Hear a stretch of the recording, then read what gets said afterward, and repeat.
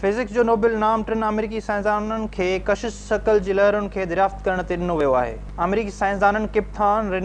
ऐं Barry Barish खे gravitational waves याने कशिश सकर जूं लहरूं दरियाफ़्त करण ते सालियानो फिज़िक्स जो नोबेल प्राइज़ ॾिनो वियो आहे अमेरिकी साइंसदान उहा दरियाफ़्त सेप्टेंबर ॿ हज़ार पंद्रहं में कई हुई पर हुन जो ऐलान ॿ हज़ार सोरहं जी फेबरवरी में कयो वियो हो कशिश सकल जूं लहरूं दरियाफ़्त करण में साइंसदाननि तर्फ़ां ॾहाकनि ताईं उन मथां थकी कई हुई जंहिं बाद पहिरियों दफ़ो हुननि कशिश सकल जी लहरुनि खे दरियाफ़्त करे वरितो हो साइंसदाननि जो चवणु आहे त प्रकाश शकल वारी लहरुनि के साबित करण सां काइनात जी तह ताईं मौजूदु ॻोढ़नि राज़नि खे ॼाणण में मदद मिली सघे थी तक़रीबन एक सदी अग दुनिया के अज़ीम तरीन साइंसदान अल्बर्ट आइंस्टाइन पंहिंजी मशहूरु ज़मान ए मकान बाबत पेश कल जनरल थ्यूरी ऑफ रिलेटिविटी में पिण कशिश शकल जे लहरुनि जी अकधी कई हुई पर हुन साबित करण जो कमु फिज़िक्स जो नोबेल नाम हासिल कंदड़ साइंसदाननि सर अंजाम ॾिनो आहे साइंसदाननि मूजिबि ग्रेविटेशनल वेव्स या कशिश शकल जूं लहरूं अल्ट्रावायलेट के अमल के नतीजे में पैदा थींदियूं उन खां ग्रेविटेशनल वेव्स ब्लैक होल्स सिज जे हेॾनि सितारनि जी पाण में टकराव जे नतीजे में पिण पैदा थींदियूं आहिनि साइंस सां लॻापियल नोबेलनाम जे हक़दारनि खे चूंडींदड़ committee Swedish Royal Academy of Science जे अॻुवान गोरिन के बेंसन पंहिंजे बयान में चवण हो त साइंसदाननि जी उन दरियाफ़्त दुनिया खे धोॾे छॾियो आहे कश सकल जूं लहरूं दरियाफ़्तड़ थान ऐं वेयर कैलिफोर्निया इंस्टीट्यूट ऑफ टेक्नोलॉजी में सालनि ताईं तहक़ीक़ कई